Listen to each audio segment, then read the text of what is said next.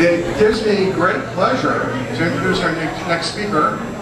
Uh, we've known Tony here for a long time, over 10 years he's been a member. Uh, as the saying goes, he was knee-high to a grasshopper when he showed up and he's kind of gotten taller. Um, and uh, uh, he's going to tell us what he did during one of his uh, summer vacations. So take it away, Tony. Hello, everyone. Uh, thank you, know, I've been through a lot of these meetings. How long have I been here? Wait, well, I'm getting really old, basically, but uh, been here for a while, and it's really great to give a presentation at the Homebrew Robotics Club.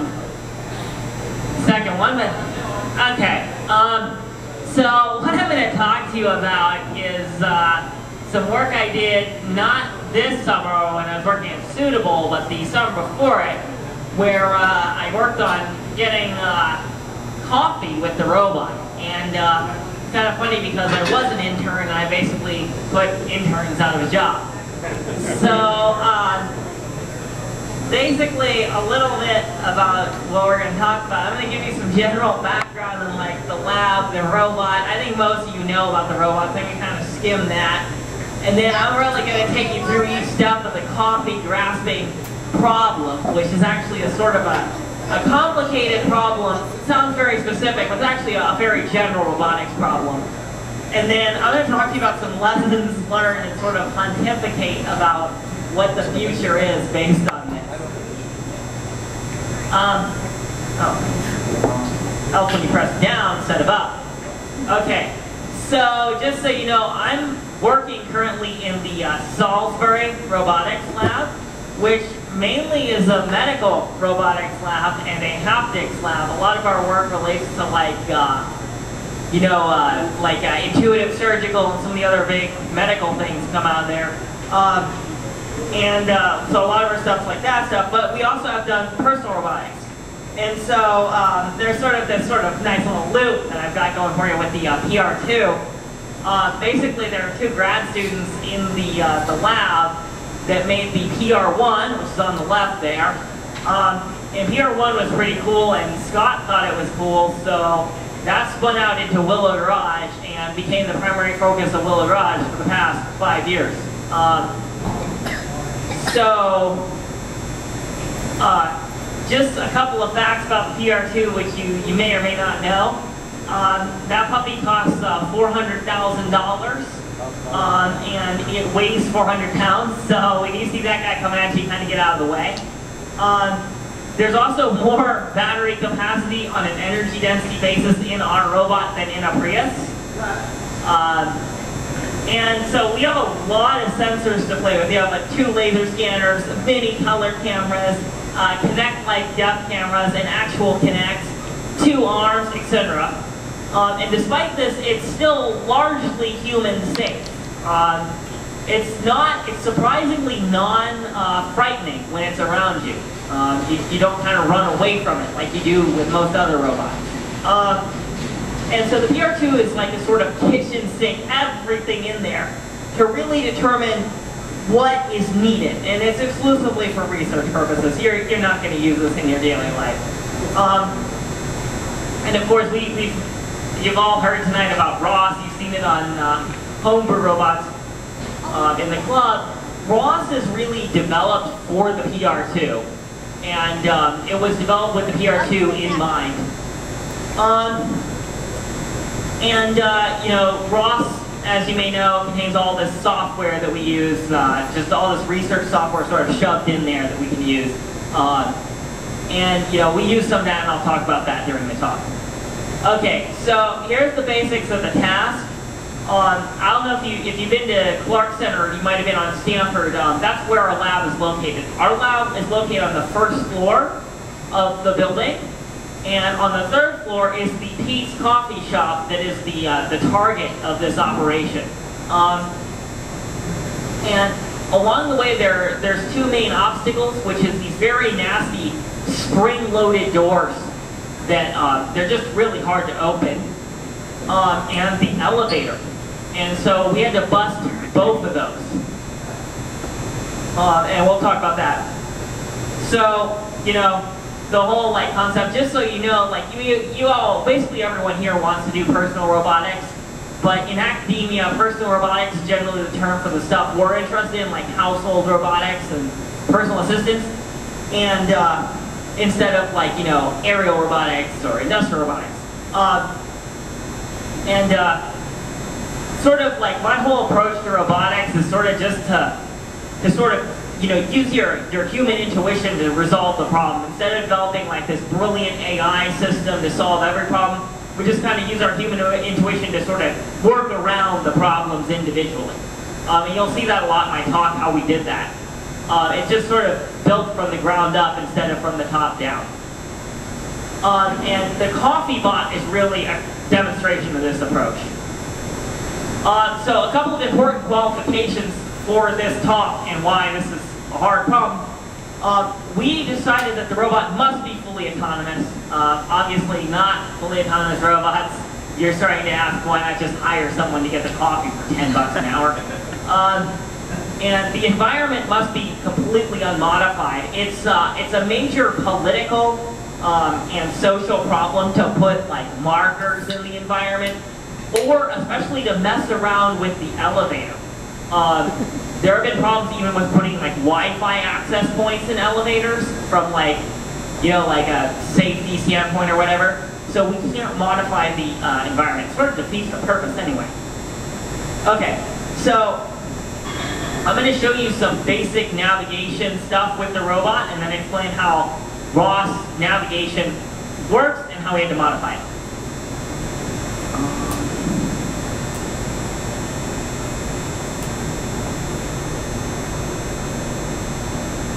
Um, so this is just, let me skip to this because this part's little boring. So this is just after the robot picked up the money. It's in our lab right now. We're driving around. You can see the robot sort of avoiding all these obstacles like the, uh, the wall. You, then you have this person who walks in and gets in the way. And so, I mean, in fairness, the robot got in our way too. They, they had to put up with a lot of stuff while we were doing this project. Um, so yeah, so it avoided the person and uh, went back to the door. And we'll talk about the door in a bit, but we're going to talk first about how the navigation works. Um, so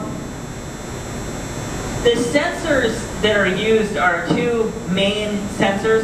One is the wheel odometry, um, and the wheel odometry is discrete integration, but it's really accurate. So it's very accurate over short distances, and as you go more and more, especially with rotation, you get air just builds up, and eventually that air term explodes and kills the uh, kills the effectiveness of the sensing. Um, the laser scanner accurately measures distance to objects, but it doesn't do any good for telling you where you are in and of itself because it just accurately measures distance. Um, and so there's software that's been developed in the robotics community for a long time, and you know the one of the brilliant things about ROS that makes this available, which is uh, SLAM, the simultaneous localization and mapping system.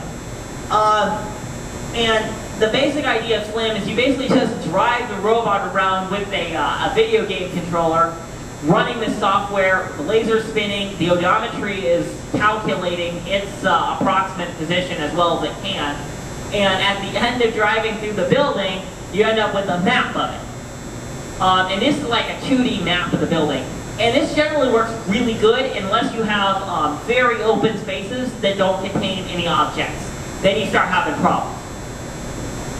Um, and once you're done with making the maps, you then can use just straight up localization, no mapping, to drive around on the maps. And localization is really good. Uh, it's pretty tolerant actually of like changes in the map. And the way it works, it just, it takes the, uh, the approximate position of the robot from odometry, and it takes the laser scan and the map, and it tries to simulate what the laser scan should look like for a cloud of possible positions around where the robot is, or was last seen. And then it figures out which of those positions is the right one. And then uh, it, it picks the highest probability one It just keeps doing that over and over and over again. Sort of this whole cloud. It's, it's very, uh, it's, it's pretty cool. Um, The other thing that we do while we're operating is we have this dynamic cost map grid overlaid over top of the map. And that cost map grid is for storing dynamic obstacles. So uh, the blue obstacles, I believe, are dynamic obstacles in the map. Basically, when someone walks in front of the robot, create a blue dynamic obstacle, then we inflate it, and that allows us to just use algorithms from video game planning to avoid uh, getting stuck on the obstacle. Uh, in addition to those uh, mapping algorithms, in addition to that, we also do ray tracing. So when we see a target with the laser, we sort of sweep out all the cost map in front of it. So if you put something in front of the robot and then take it away, it'll just, it'll clear that obstacle out. And uh, it works pretty good. It takes a couple of cost map updates to really clear the map, but it does a pretty good job. Also, if the robot can't get to its goal, it gets stuck, like there's no way it's getting to the goal, it stops and deletes all the dynamic obstacles and then starts again. Sometimes you don't clear obstacles and then you get stuck. So it's a, it's a sort of a, a backup update routine. Now, all this stuff came with ROS, so when you actually install ROS, you're getting this stuff. And um, yeah, now the problem with it though is we have a multi-story building, and we also have a building that's really big. Like the building is about the size of this, this building, and one of the problems with SLAM is we can't really restart SLAM. So it's very hard to make like a huge map of the whole building, like you actually almost run out of battery in the robot thinking. So what we did is we developed a system called multi-map navigation, which lets you stick together multiple 2D maps with wormholes between them. And the nature of wormholes is varied. Um, some of the wormholes are just points that you drive to and then you're in the next map. And some of them actually require actions to be executed at them, such as the doors and the elevator are all wormholes. And there are actually, I believe, seven maps in the system. Um, like the inside of the building and the outside and a couple more to make it up to the elevator. And you'll see this in the video. You'll see like every time it transitions, that's another map. Okay, so now that we talked about navigation, we're going to talk about how we dealt with doors. And the basic idea is just to consider so far, the navigation sort of knows, we have like sort of some metadata that lets us know where the doors are in the map. So we can just drive to the XY position of the doors and then switch over to the custom door controller. So the, the issue is there's two ways to open the doors and this is pushing the doors open. Okay, what? So you see the robot sort of lined up on the door. It's lining up with the laser and then it spins around and backs through the door. Um, and this is approach, we originally were hitting the doors at like 0.5 meters per second, which led to the concept of door blasting as the term for this. Because it's actually sort of scary. Okay. So, a little more detail on how the lineup works. Um, basically, so the first part is they're transparent. So the default door detector in ROS, like the stuff that we used in Milestone 2 at Willow, is to look for the recessed door. If you have like a, a like say a bathroom door, like in your house, it's sort of recessed into the door frame. So a lot of the way it works is by looking for the recessed door. That doesn't work because the doors are just holes and a sort of thing around them. Uh, and they're also really heavy. So the robot cannot put, it can't use its arm to manipulate the doors. They're just too heavy for the robot. Um, and so, uh, so yeah, so we're within like 12, I would estimate 30 centimeters at worst. We're probably within more like 10 centimeters when we drop out of navigation. Um, and so the first step is to actually line up distance-wise with the door, because you could be forward or backwards with the door. Um, and then to line up rotationally with the door. Rotation generally tends to be the most critical axis to get right, because small off, small errors in rotation get magnified as you drive. Even if you drive straight, it's going to magnify small errors in rotation. Um, and then, once we're done that, uh, we then can slide side to side by making the central window, the window in the door, line up center with the robot. And that allows the robot to line up side to side. So there, that basically gets you all three axes. Um, and then the spinning and backing through the door is a pre-programmed script, which is a little bit of a problem because the robot doesn't have any sensors on its back. So if someone jumps in front, it's just going to run them down. So that's one other problem. Okay, so so now I'm going to show you how we do door pulling. And so I sped up 20x the driving along the building because it's kind of boring, but it does show you what it's like, how far the robot actually had to travel. okay. What is that? Um, I don't know. It's long enough it's annoying to walking. I don't really know off the top of my head, but you can go on Google Maps if you're curious and figure it out. Okay, so um, the first part of this is to mechanically align with the door. So you see the robot's driving forward and it does a sort of like waggle dance to line up flush with the door. And now it's using, it's mechanically feeling the distance to the door and now it's sliding its hand sideways across the door to detect the handle. And now it's hit the handle, so it's just going to move over a fixed distance and it can grab the handle. And once it grabs the handle, it uses, it can cancel out the the handle and then do this sort of elaborate dance to get through the door.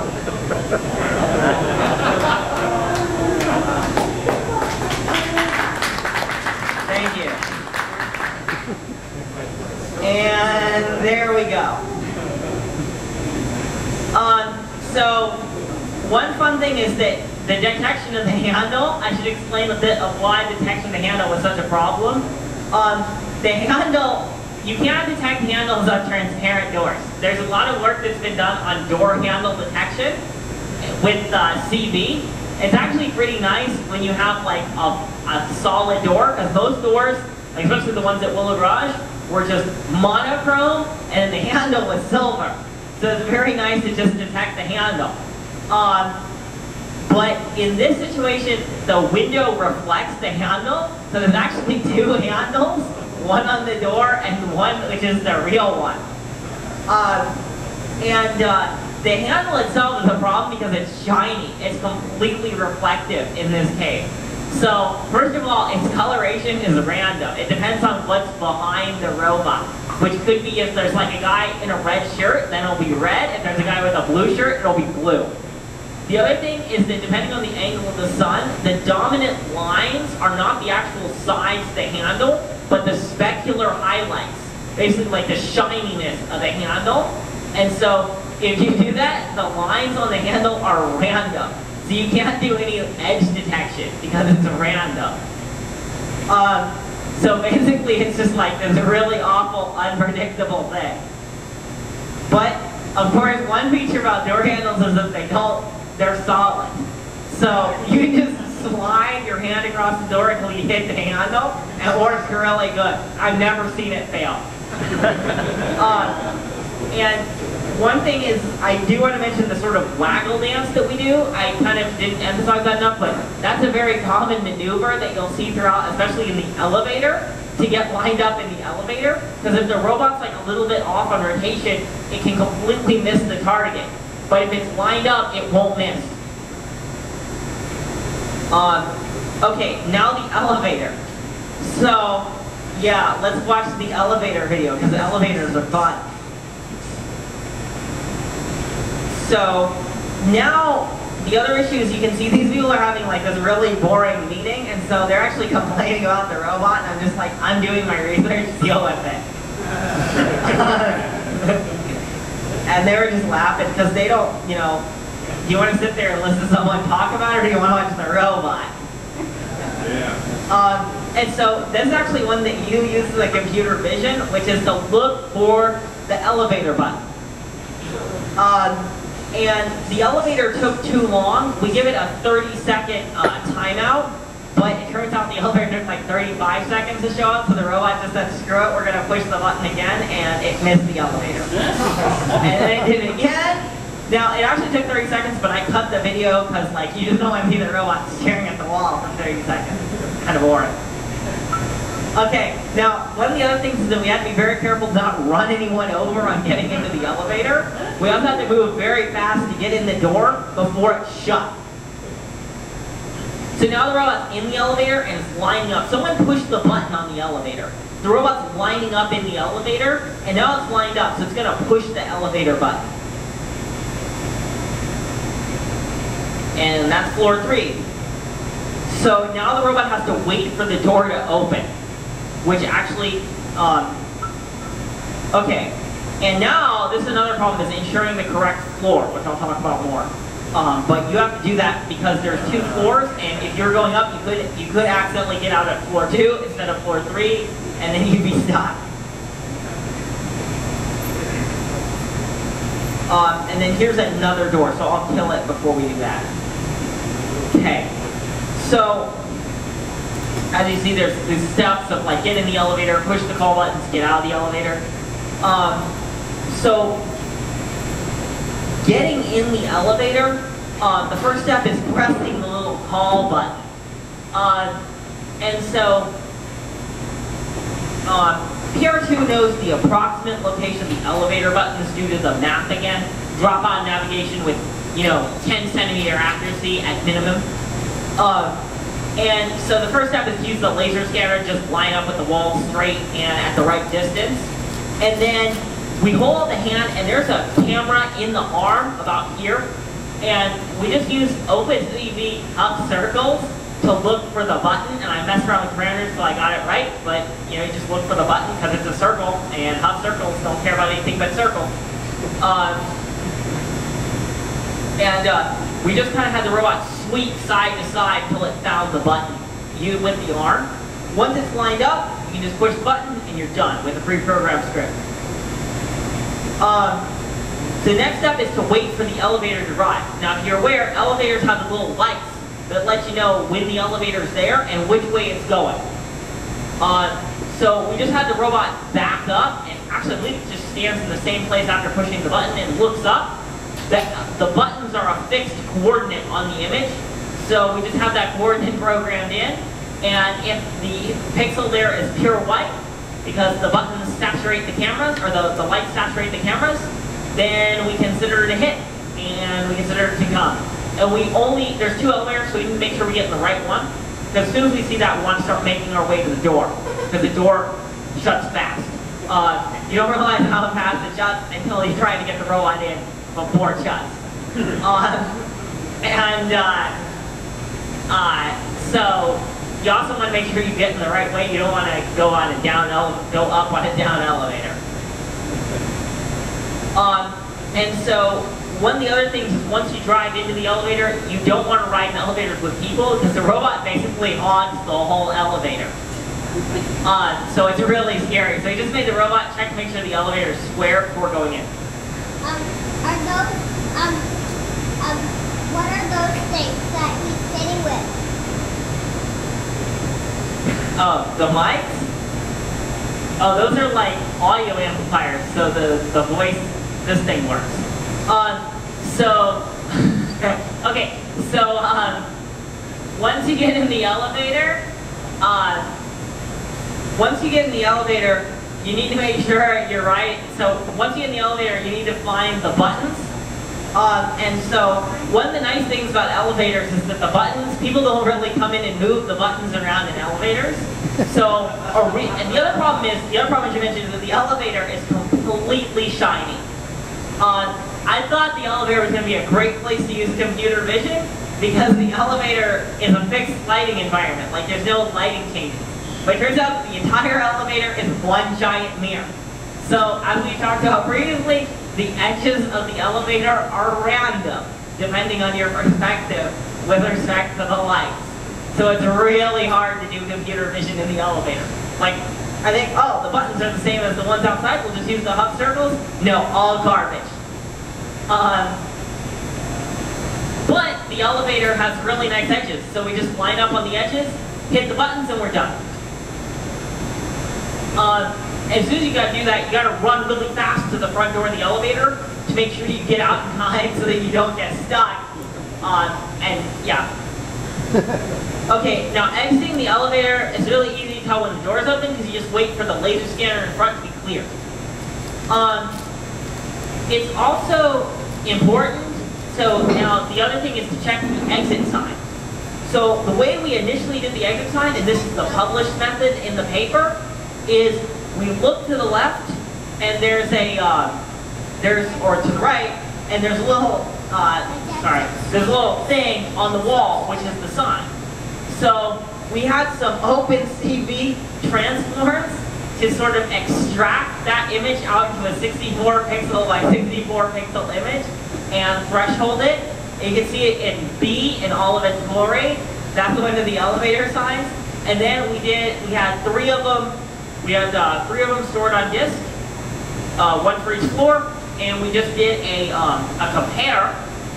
Uh, basically just did like a, least, a subtract, like a least squares, sort of a, just, we got the, the standard deviation between the two of them basically. And once we found the standard deviation, we just found the one with the lowest standard deviation. Turned out it worked really good until the sun set. And then the lighting was wrong and it stopped working. So, uh, Professor Salisbury and all of his genius realized there's an accelerometer in the robot, and elevators accelerate. So we deleted this garbage and replaced it with an accelerometer-based detector, and the accelerometer-based system works really good. And I recommend that in all future elevator detection, we just use the accelerometer, because it doesn't mess up. In the certain floor, floor you're on? Um, so we know what floor we started on, and we know when the elevator started moving, and we know when the elevator stopped moving. And since the elevator sort of moves at a constant velocity, we know the time. I tried just doing like discrete integration on the accelerometer data, but it's too noisy.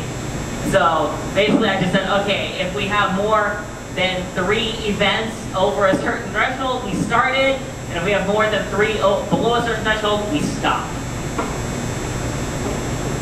Um, so now, driving, and also this is the only thing that failed in the integrated system, was this.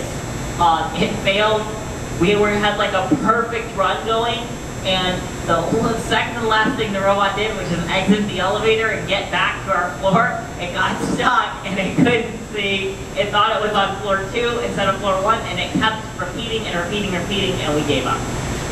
Okay, um, driving to the coffee shop. Okay, now, now that we dealt with the elevator, I'm talking about how we got around in the coffee shop. So you can see the robot had to get through more doors. There's a total of five doors between the lab and the coffee shop. They're all the same. Uh, yeah, they're all identical, which was lucky, because I didn't want to have to write two door openers. And you can see how it's reflective um, in the door with the handles and stuff. Okay, so now we're waiting in line at the coffee shop, which is a problem that I'll, I'll explain. Basically, there we found that lines uh, in this coffee shop always form in a certain region. So I had the robot drive through that region, and if anything got in the way of the laser scanner, it would just stop and wait. And unfortunately, in this video, there was no line at the coffee shop, because otherwise the robot actually did a really good job of waiting in line. It's Kind of a shame we don't have a good video of that. Now the robot is giving money to the person.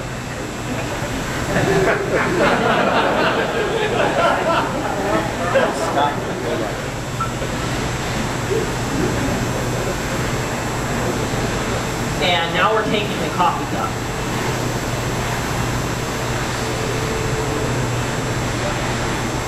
And there's also a, a, a custom Tony Pratkanis modification of the PR2, which you can see on the back. There's actually two. The uh, the black piece is the anti-bureaucrat bumper, which is designed to make it less scary to people that the that the robot is bashing into all the doors. Um, okay, so back to the talk. Um, you saw I basically explained how the robot drives a predefined course. Um, and one of the problems is I realized like I went to like Wendy's after this and I realized that a lot of the lines in most restaurants are random. So while it's nice that the line in um, in uh, the coffee shop forms in a certain way, the line in like McDonald's doesn't do that. So in the future, we're gonna have to come up with a more generic approach to waiting in line. Uh, that's a problem that we, I have not read any research on. Um, okay, so the ordering the, the, the coffee, the way we order the coffee is we could have text to speech the order, but it's really hard to understand. And the person would have been like, what? What do you want? And then the robot would not have had the capacity to repeat it. So instead, we had a handwritten ransom note style note that we handed. Now in the, the bag is like 10 bucks and this ransom style note. Only instead of holding people ransom, we're actually buying products from them. Um,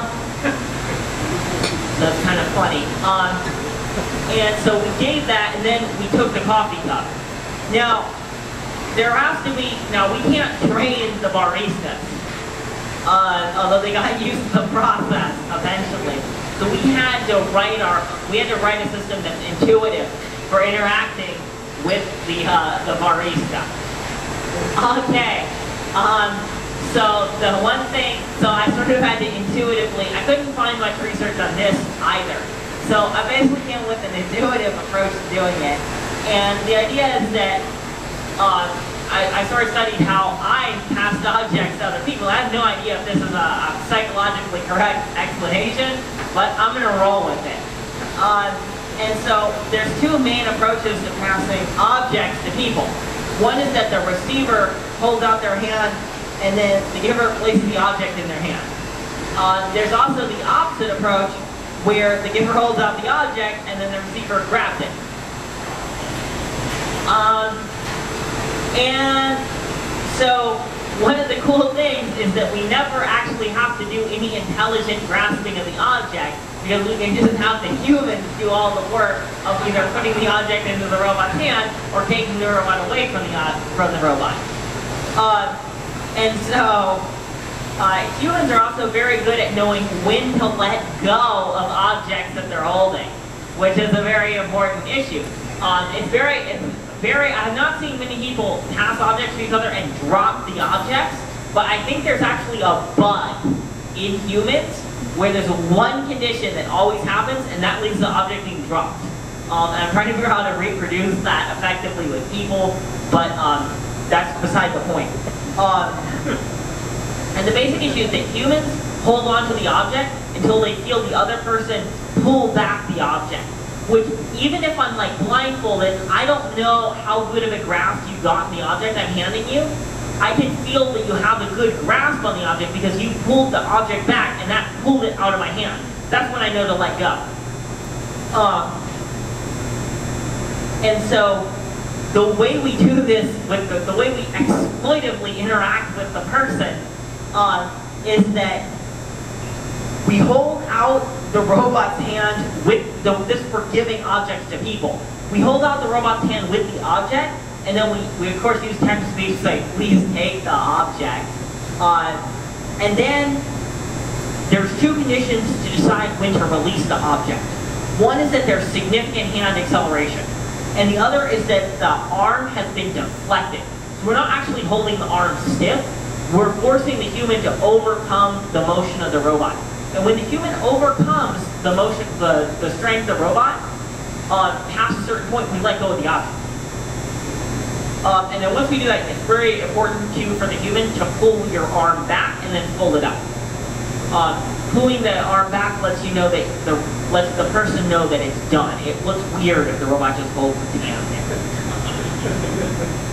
um, it makes me feel like you stole the object from the robot. It's very bad. Uh, now, the opposite effect of receiving an object from a human uh, and we started out with a very sim a similar process, which hold out the empty hand, ask the person to put the, uh, the hand in it, or put the object in the hand, and then grasp the hand, grasp the object when the previous conditions were met, uh, which is the accelerometer or the hand being forced back. Start with the accelerometer, that worked great. But there were problems. This failed because what people would do is, let's say that this is the robot's hand, uh, the person would hold the object like this and not actually bump the person's hand. Um, and that, or bump the robot's hand. And that was a problem because it was waiting for to on, so it just sit there, and you were, you were confused. So we had to come up with an alternative approach to this. Um, and as I said, remember there's a camera in the robot's forearm looking up. So we, um, what we did is we took that, and I found a region of it, sort of a polyhedron in it, that was, or a polygon in it, that corresponded to the region in front of the robot's hand. And what we did is we took a picture of that and then did a standard deviation comparison on the picture. And once we exceeded a certain standard deviation, we grabbed the object.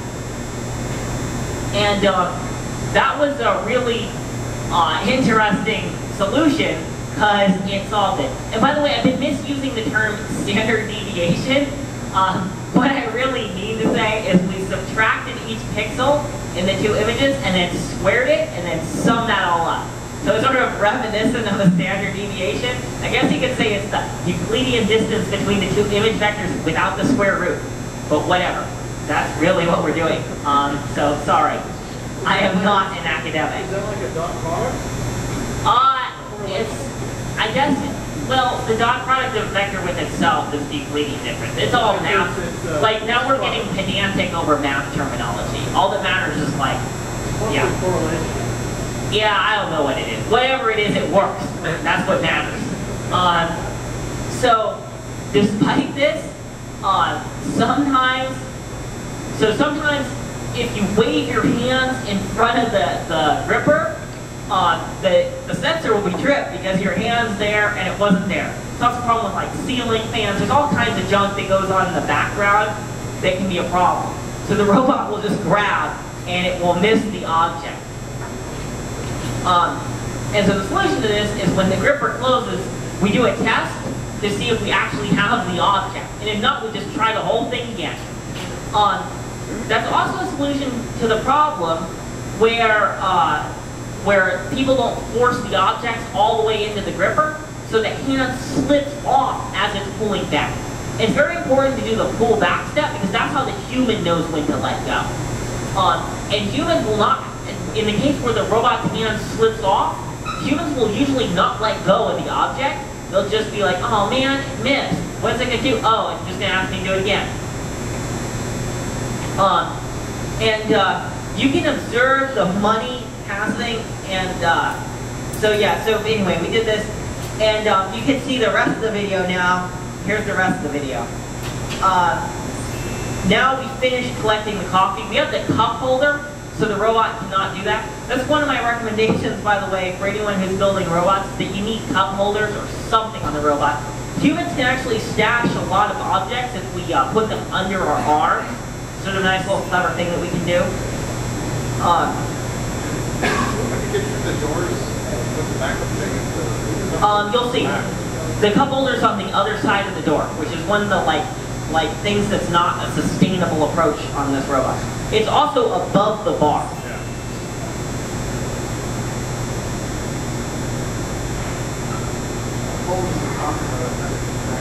So that's one of the other things we found out, a nice little life hack, is that uh, the coffee actually doesn't get cold. Now it takes about 20 minutes, I believe, to get back to the lab. Remember, this whole thing took 47 minutes in real time. It's really slow. Uh, there's all those people again. Uh, there's also more traffic, this time a mail cart.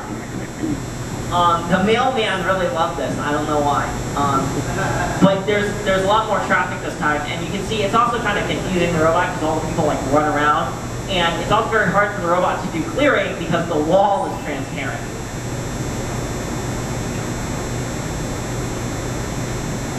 Uh, so yeah.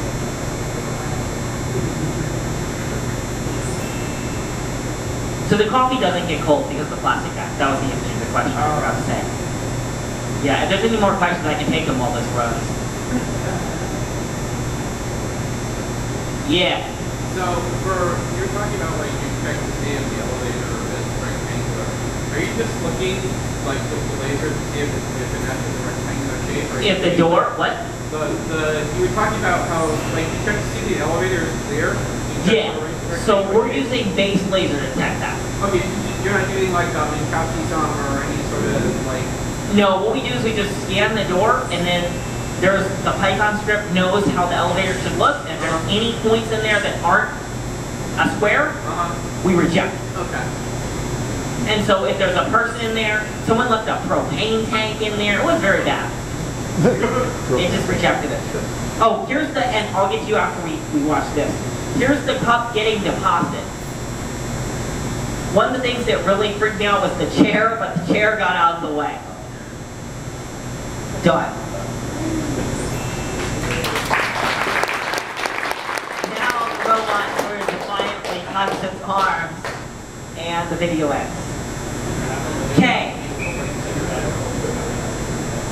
What was your question? The coffee smell uh, when you opened the... The coffee still? Did spill? What? Did the coffee spill? Is that your question? Okay, so the coffee actually didn't spill, but we had the plastic bag so that if we dropped the coffee, we didn't end up killing the $400,000 robot. We just lost the $5 coffee. Uh, generally, it's a good idea to have that. Uh, we actually don't need the plastic bag. We could have done the whole thing without it. I just would have been really freaking out the whole time if we hadn't had the plastic bag. I'm going to be passing microphones around, so Okay, I got a couple more slides and then we'll do questions. Um, so the lessons learned from this sort of process, um, it's really fun and exciting to do this kind of stuff. Um, it's really impractical in its current state. I mean, I guess we didn't know. Um, however, it could be useful if you're disabled. I mean, this could be helpful for disabled people, but um, or artistic purposes. I don't know what the artistic purposes of this would be, but you know, they're there. Um, and computer vision is really unreliable. Uh, sometimes it can be useful, but in general, it does really weird things and it's hard to predict what it's going to do. And I would recommend trying to avoid using it when you've got laser scanners and Kinects and whatnot. Um, and the simple heuristic approaches really worked and did their job every time. And you might think that, like, you know, there'll be a case where they won't work, but um, they did their job every time. And I would recommend that instead of doing all this sort of AI stuff, we just sort of build from the ground up with really hacky stuff, and it'll just work in the end. Uh, and the other thing, I guess this is life advice as well, is don't be afraid to fail and don't be afraid to retry. Um, it's a really, it's a exponentially harder curve between 90% to 99% to 99.9%. So, you know, if the robot fails 10% of the time and is smart enough to try again, who cares? Um, it's a robot, it's free. It's more important not to do the engineering time, make it 99% efficient. Uh, the other thing that is important that is not in this talk um, is that, you know, if the robot only works 99% of the time, you know, it can call for human help. And with the internet, human help can be right there in less than a second. Okay, so future work. Robotic software keeps getting reinvented uh, to run the same tasks. And in some cases, the wheel is literally reinvented. Now, ROS helped a lot in avoiding this, but ROS has its deficiencies. It's very hard to use, it's very hard to install, uh, it's very hard to configure, and it doesn't help with a lot of the base level configuration that we see, like providing environment definitions, object modeling, a lot of problems it doesn't solve. So I'm working on a, uh, a next generation approach to handling this problem right now, uh, called BLAST, which is sort of this easy to use framework for creating uh, a sustainable approach to writing all the really hacky little programs like open the door. Oh, you have a weird model refrigerator? Well, you can just write special software to open it and plug it in instead of the default refrigerator opener. Uh, and one of the things is that in our modern world, there's there's not there's a limited set of stuff. So even if we have to manually program the robot to open every single refrigerator, there's only like 10,000 models of refrigerator. There's only 10,000 programs. Each of those takes an hour to write. Okay, that's a lot, but it's not horrible. Okay, now we're finally on to questions. You first, sir. Did you get the correct change? Uh, I didn't check because I was more, more ecstatic that the robot actually worked and was making sure like the video camera actually recorded the run than uh, caring about that, but I think we did. Did you consider using a tray to put the cups on and the money and, and maybe some sort of a, uh, You know- button or response button for the? Um, so in the beer fetching demo at Willow Garage, they did trays, and that's sort of more of a hardware constraint of the robot. But um, they did trays, but I had to lift the uh, to really get effective door opening. I had to lower the the arm, to lower the torso down, because you know the torso rises and lowers. And um, trays, basically, as far as I understand, there's no way to build a tray when the torso is low um, the arm will hit the coffee cup and spill it.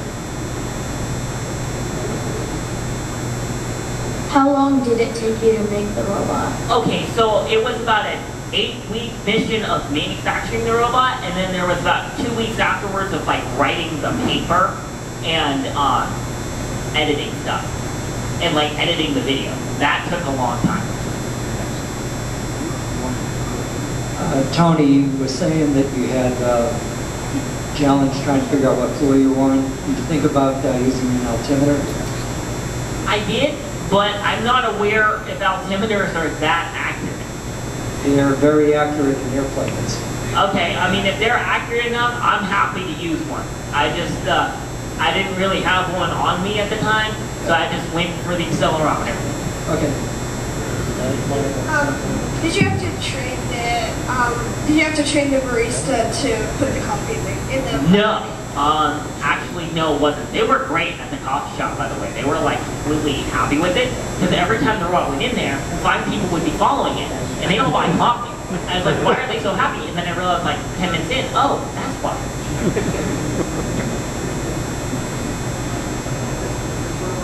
Does this robot stay at Stanford? Does this robot stay at Stanford, he asked. The answer is yes. We have the robot in the Salisbury Robotics Lab, and we're doing stuff with it. I don't know what we're doing with it. So after you, uh, uh, when you're getting it from the, you know, 80 to 90 percent reliable point or whatever point you stopped at, you find that, that getting it to that point made it more flexible in terms of its ability to do other, other doors or other kinds of elevators, or were you actually, you know, zooming Nope. in on one very, very specific So task? I think the elevator stuff could be reused if you changed it. There's probably about 30 parameters that would have to be adjusted to make it work on a different elevator, but it would probably work really easily. It was kind of designed that way from a coding perspective to let you reuse it, but you know, it, it's still, I mean, it's still going to have to be manually configured for each elevator. So how many different doors, how many different doors and elevators do you think you'd have to train it in before you feel Um, like it would be, have a, a I don't think you can ever, Ever? I don't think you can ever have a generic system. Because people fail to operate elevators all the time. They recover, but they fail. And people also fail at door opening. I saw a ton of people fail to open the doors. Took a lot, there's like instances where it takes people like three attempts to open the doors successfully. Uh, and so it's, you know, the idea that like the robot's gonna, like the idea that there's, I'm trying to dispel the notion that there's like ever gonna be a perfect door opener. Because you make a perfect door opener, I'm gonna come up with a door that makes it not work. And it'll, it won't take me long, but I, I'll come up with one. Like, you know, how about if I spray paint the whole door pink?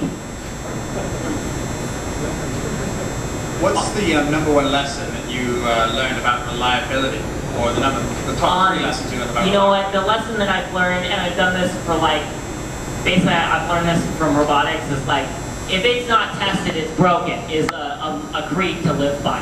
So, you know, we have to test, you just test, test, test, and do the same thing like 30 times, and you'll probably make it reliable if it works 30 times in a row. That's what I set my standard at for reliability.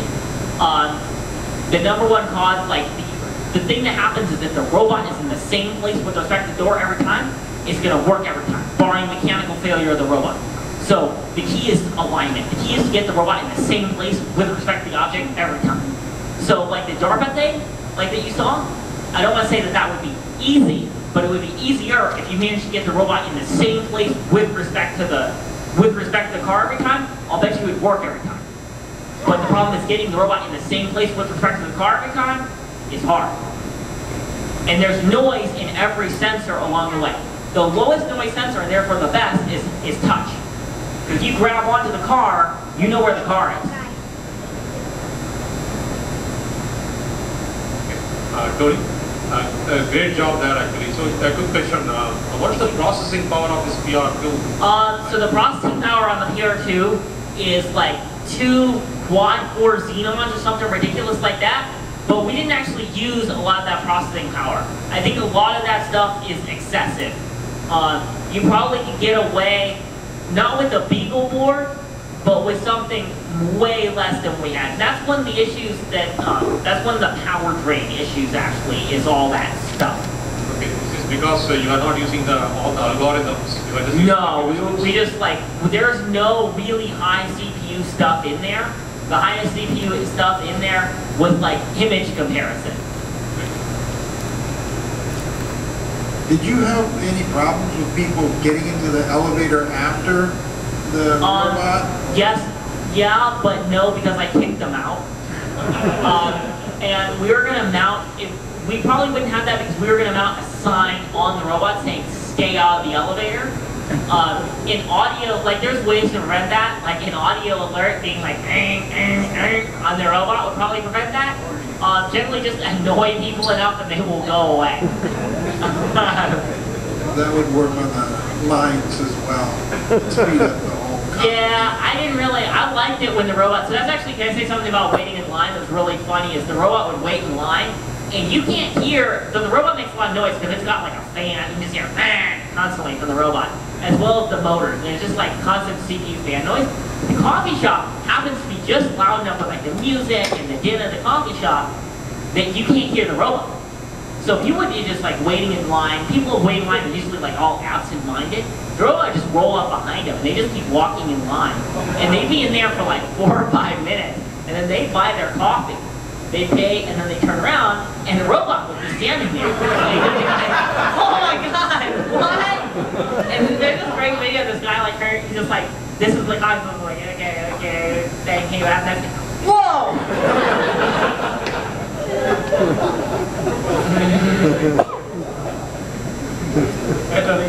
So if you get uh, lost, let's say that uh, second floor instead of car, will recover, auto recover? Or? No, it'd be screwed. So that, that's basically like if you get on the second floor and you think you're on the third floor, it's over. Uh, what would generally happen, hope, what actually happen is because of the similarity between the second floor and the third floor, it would go into the office next door and get stuck on the wall thinking that that was the line. Uh, it may also actually drive around and pretend there's a coffee shop counter there, which would be really funny. Uh, but yeah. The hope is that after 30 seconds of waiting or whatever, you call a human for assistance. And when that happened, it would be, you know, you'd say, uh, I don't think this is a coffee shop, and help the robot. Uh, it seems from your takeaways that you're saying that, um, for instance, be- better technology, faster processors, or whatever would not solve these problems. No, I don't. I don't think it will. I think the only way, the only way to solve these problems is to recreate, uh, to solve these problems sustainably. If you consider humans to have sustain, like a sustainable solution to it, is to recreate a human. And if you do that, you're going to get all the benefits of being human and all the problems of being human. So you're basically not going to do any good. Um, you might as well just bioengineer yourself to be immortal and then you're done, instead of bothering with that.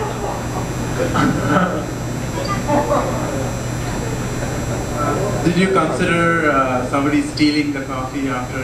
Um, yeah, I did, but the robot would have caught them on camera and I would have beat them up too because I was standing there.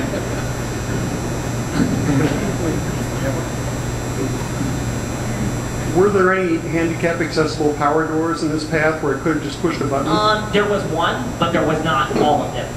Um, and the other issue with the handicap issue power door is we may have pushed the button, but it may have actually taken too long to drive through the door. Like the door only stays open for so long. Um, I didn't work on that because I already had the door opener and it was taking way too long, but could have done it.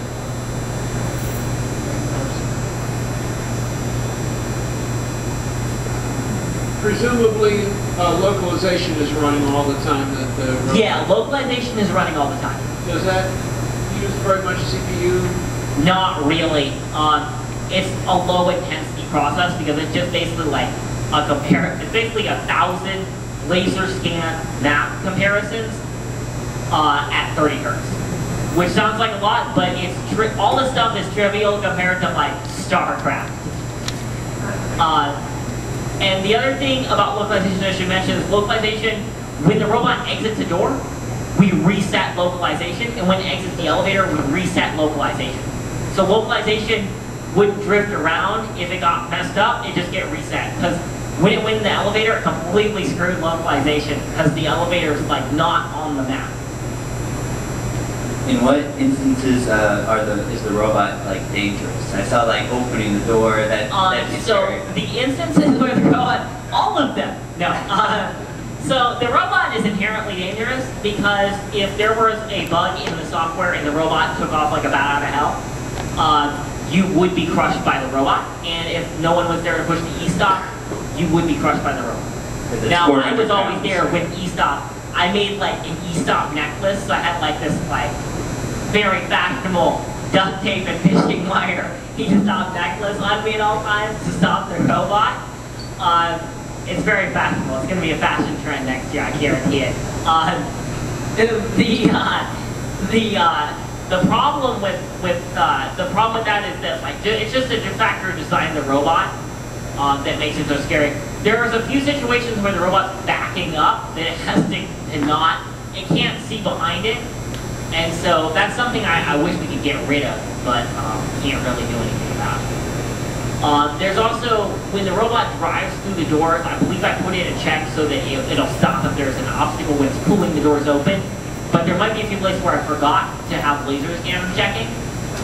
So yeah. Okay.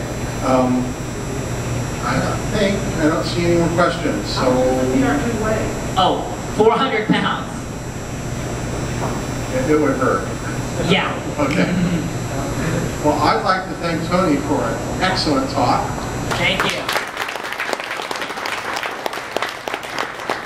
Some excellent research.